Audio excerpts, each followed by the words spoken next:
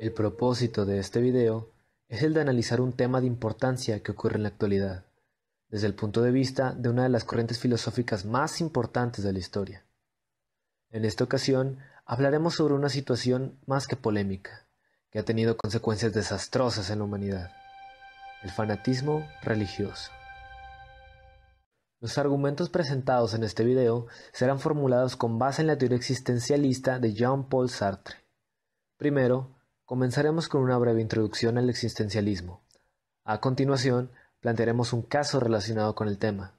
Seguiremos con el análisis del mismo y finalmente mencionaremos las conclusiones obtenidas. El existencialismo es una corriente filosófica europea que considera que la cuestión fundamental en el ser es la existencia, en cuanto a existencia humana, y no la esencia. Los existencialistas se centran en el análisis de la condición humana, la libertad y la responsabilidad individual, las emociones, así como el significado de la vida. Esta teoría se origina en el siglo XIX, teniendo su máximo apogeo en el siglo XX. Uno de los máximos exponentes fue Martin Heidegger, filósofo alemán representante del existencialismo cristiano. Su mayor obra es El ser y el tiempo. En el lado opuesto tenemos al francés Jean-Paul Sartre, que con el ser y la nada toma ideas de Heidegger y otros escritores para hacer surgir el existencialismo ateo, para así posteriormente redactar El existencialismo es un humanismo, considerado el manifiesto del existencialismo. Para comprender el existencialismo podemos ubicar ciertos conceptos básicos que definiremos a continuación. Ser para la muerte. La muerte tiene que ver con la libertad del hombre, ya que la libertad de ser auténticamente uno mismo se revela en el temor como libertad para la muerte. Para que el hombre sea libre, es necesario que sea consciente de su finitud, del fin de sus posibilidades, de su ser para la muerte. Existencia auténtica e inauténtica. Para comprenderse, el hombre puede adoptar como punto de partida o bien a sí mismo o bien al mundo y a los demás hombres. En el primer caso, tiene una comprensión auténtica, mientras que en el segundo tiene la comprensión inauténtica, que es el fundamento de la existencia anónima. La existencia anónima es el reino del sé, donde se denomina totalmente el se dice o el se hace. Conciencia. El yo no es la conciencia trascendental, sino el conjunto unitario de la intencionalidad de la conciencia que está fuera, en el mundo. Las cosas no están en la conciencia, como imagen o como representación. Las cosas están en el mundo. La conciencia es conciencia posicional del mundo, es apertura al mundo. Ser en sí y ser para sí. El ser en sí es el objeto. El ser es lo que es y nada más. No mantiene relación con ningún otro. No existe fuera de sí y se agota en sí mismo. No puede llegar a ser otro.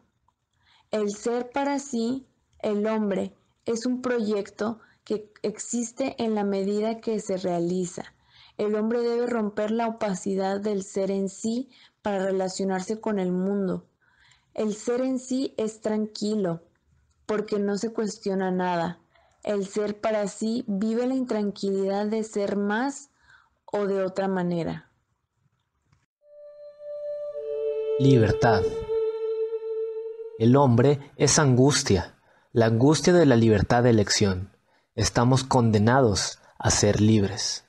Al no haber normas establecidas, el hombre se encuentra libre de tomar sus decisiones, pero también tiene completa responsabilidad sobre ellas. En el verso de Machado se reconoce el concepto de libertad existencialista. Se hace camino al andar.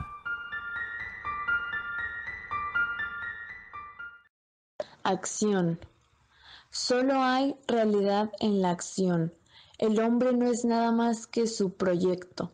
No existe más que en la medida en que se realiza. No es, por lo tanto, más que el conjunto de sus actos nada más que su vida. Lo que viene a continuación te sorprenderá. Incluso puede causarte sensaciones como molestia, indignación, inquietud, decepción y desesperanza. Lo que estoy a punto de contarte es un artículo del periódico Excelsior, uno de los diarios más importantes de México. Comencemos.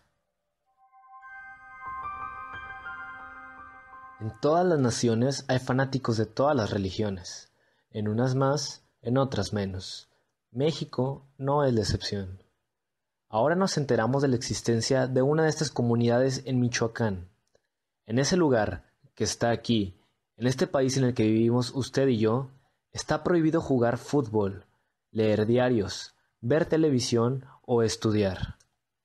Rodrigo Aguiar y América Juárez han escrito una crónica que describe cómo se vive en Nueva Jerusalén, fundada en 1973 luego de que supuestamente la Virgen del Rosario se le apareció a una anciana llamada Gavina Romero, que transmitió órdenes al párroco de Paruarán, Nabor Cárdenas Mejorada, para que creara una comunidad protegida por la divinidad.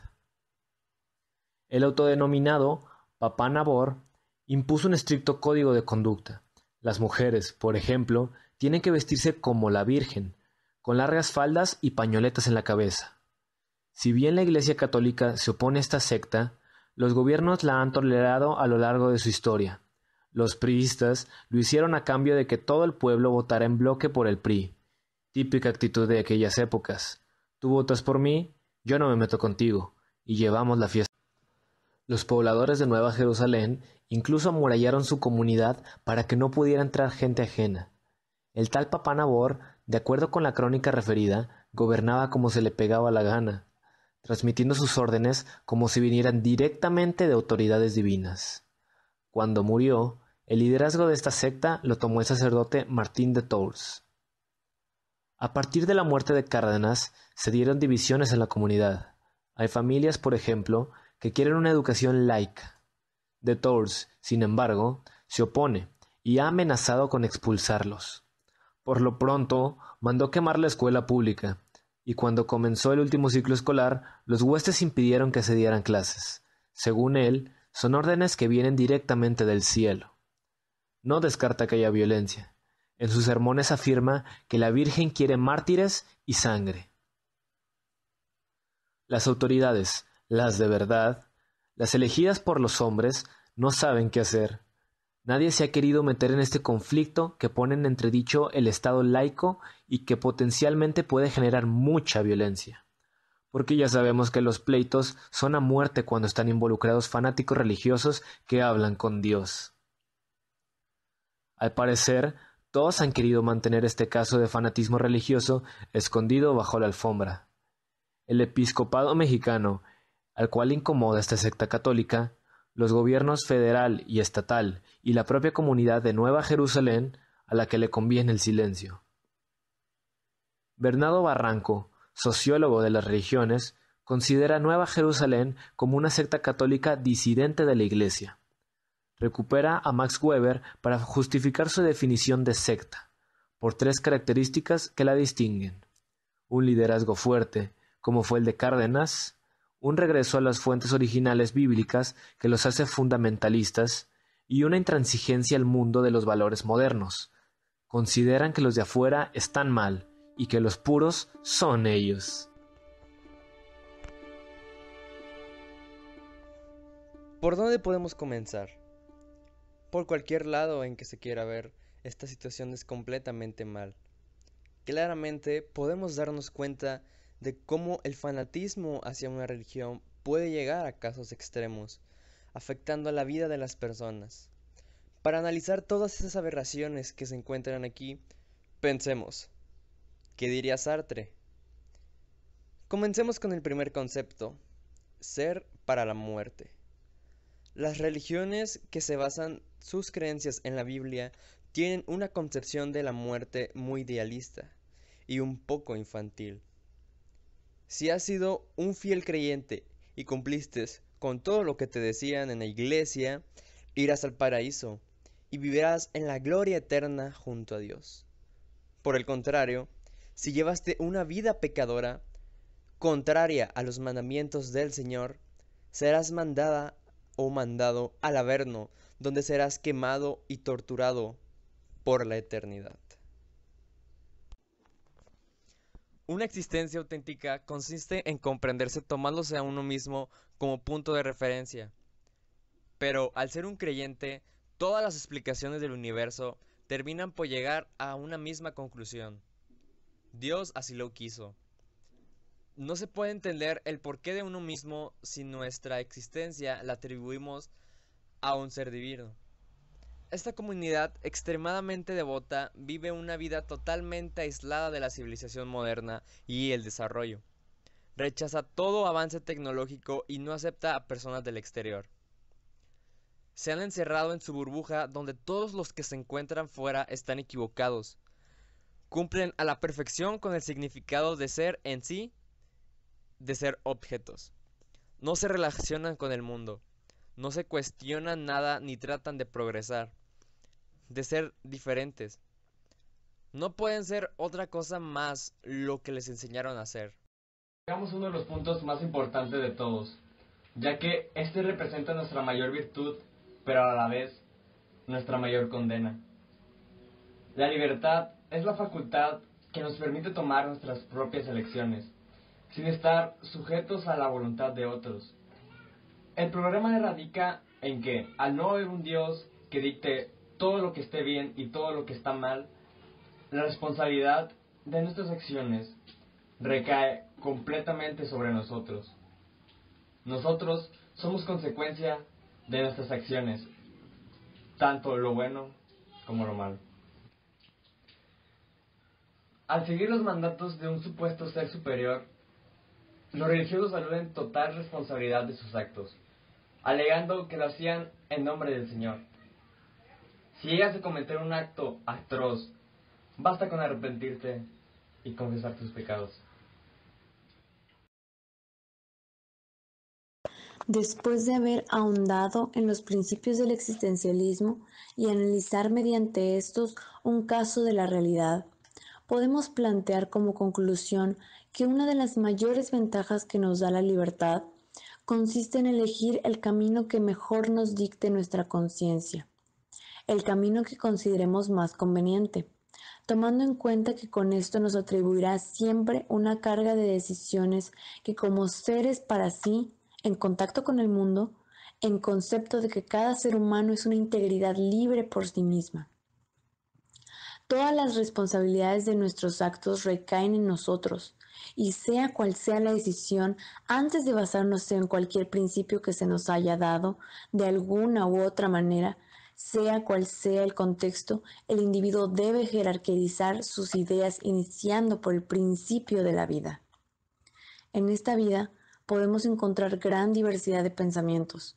Puede haber algunos que prefieran rezar por las causas, otros que en nombre de, alguna, de algún ser aterroricen o vayan en contra de las leyes pero siempre, el que sea valiente y con razonamiento tome la elección de hacer algo por su vida es un ser que es consciente, que vive para sí y que se mantiene en el tiempo y en el espacio que lo rodea, anteponiendo siempre su derecho de cuestionarse, porque no hay peor ciego que el que no quiere quitarse la venda de los ojos.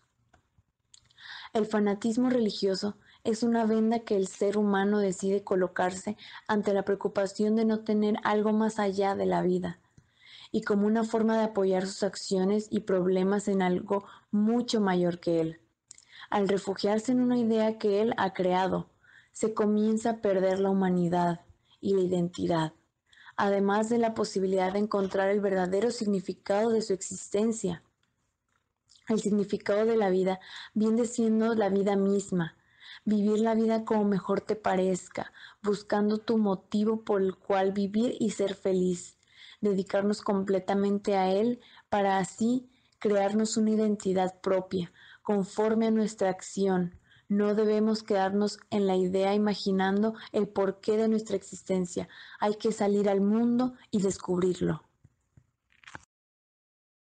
Te han hablado Daniel, Julio y Marifer y te deseamos Buenas noches.